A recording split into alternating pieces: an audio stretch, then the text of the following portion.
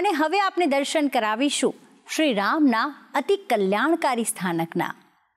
પવિત્ર ભૂમિ કહેવાતા પ્રભાસ તીર્થમાં હરિ અને હરની સાથે રામ દરબારના દર્શન ભાવિકોને ધન્ય બનાવી રહ્યા છે. ત્રિવેણી સંગમ તટે સોમનાથ અને ભાલકા તીર્થ આવનાર શ્રદ્ધાળુઓ માટે અહીં આવેલું રામ મંદિર પણ પુણ્ય પ્રાપ્તિનું માધ્યમ બન્યું છે.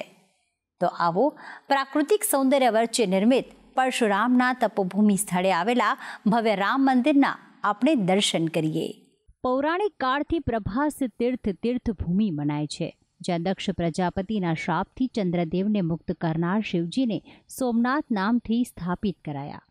કાળક્રમે આ જ્યોતિર્લિંગનો નાશ અને નવનિર્માણ થતું રહ્યું.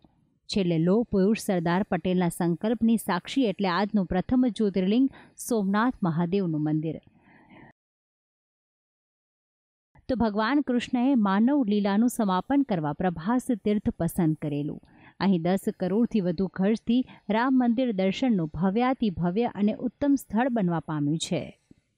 જેમ શિવત્વ અને સોમનાથનું મહાત્મ્ય છે, તે જ રીતે ગોકુળ, મથુરા અને દ્વારકા છોડીને અંતિમ સમયે ભગવાન શ્રી કૃષ્ણએ આ જ તીર્થ પસંદ કર્યું. રામ અવતારમાં વાલીને આપેલ વચનના લીધે એક શિકારી દ્વારા માનવ લીલા પૂર્ણ કરી.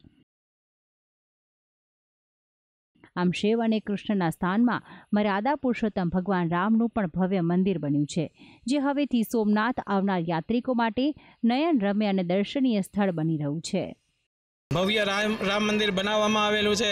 દેશ વિદેશથી હજારો ભક્તજનો અહીંયા આવી કૃતકૃત્ય થાય છે અને ખૂબ જ શાંતિનો આહલાદ અનુભવ કરે છે.